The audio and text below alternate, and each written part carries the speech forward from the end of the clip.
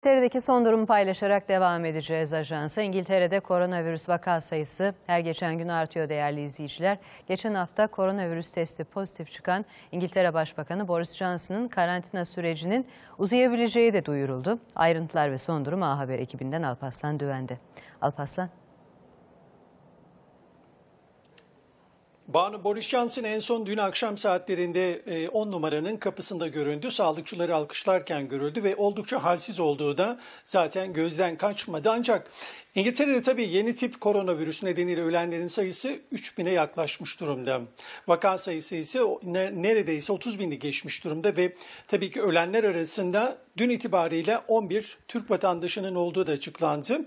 Ee, ülkede dediğimiz gibi vaka sayısının önümüzdeki haftalarda daha da artması bekleniyor daha önce de öngörülmüştü ve Kuzey Kıbrıs Türk Cumhuriyeti vatandaşlarının sayısı ise 28 olarak açıklandı. Yaşamını yitiren insanlarımız bunlar.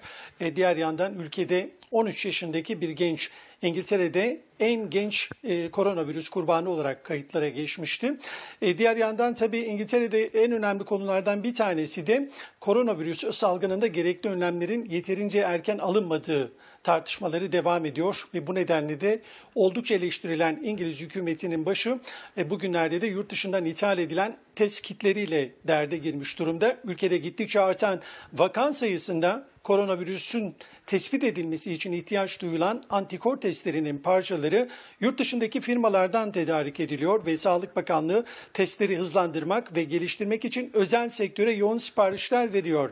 Ancak İngiliz basınının haberlerine göre Lüksemburg'da bulunan Eurofins adlı üretici bir firma Kuzey İrlanda ve İngiltere'ye göndereceği test kiti parçalarında koronavirüs tespit etti ve test parçalarının henüz üretim aşamasındayken virüse maruz kalarak kullanılmaz hale geldiğini bildiren firma yetkilileri İngiltere genelindeki birçok laboratuvara tedariğin gecikeceği uyarısında bulundu.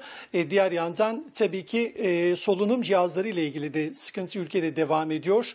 E, solunum cihazlarının öncelik olarak gençlere verileceği ve durumu kritik olan ilerleyen yaşlardaki insanlardan e, bu solunum cihazlarının çıkartılabileceği de yine tartışmalar arasında yer alıyor diyelim. Sözü tekrar sana bırakalım Banu.